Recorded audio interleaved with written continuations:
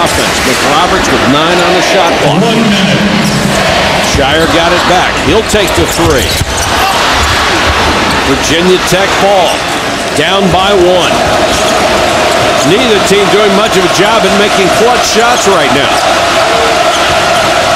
Zabian Dowdell. And Virginia Tech wants a timeout with 43 and a half seconds to go in overtime. Paulus. We just warned the kids, don't try those at home. Yeah. Hey, Paulus is 6'1". It's not like he jumped Muggsy Bogues.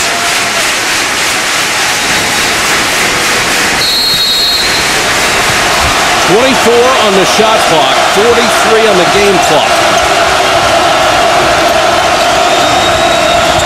Vassallo has checked in for Virginia Tech. Another good shooter. See, look at the hand check right there. Got away with, oh, man. Gordon with a floater. Virginia Tech back by one. And the reason I bring up the hand check, the officials are going to allow these guys to play. They've worked too hard.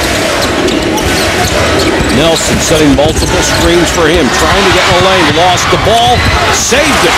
Henderson kicks it outside. McClure Missed the shot. Washington with a rebound and he's fouled. Foul ball, Virginia ball on the possession.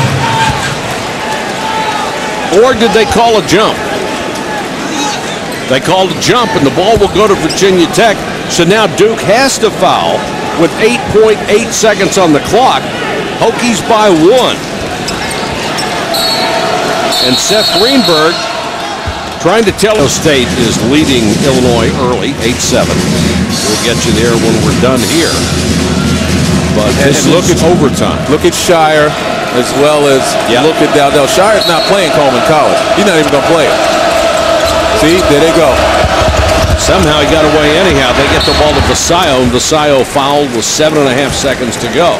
Noon hadn't played much time, but Mike Krzyzewski puts him in in a critical possession at the end of the first half, puts him in for a critical possession at the end of the second half, and now here at overtime with 7.5, he puts him back in. And he's got range on the shot, one of the reasons. Well, the other reason is, regardless of what kind of day he's having, you expect him to have the best judgment. right. Two-point lead, Vassallo can make it three. Virginia Tech has made them all from the free throw line in overtime until now. Two-point game. Ball hits Paulus right in the chops. He's going to have to take a shot, and it's a runner blocked by Washington. And it's over.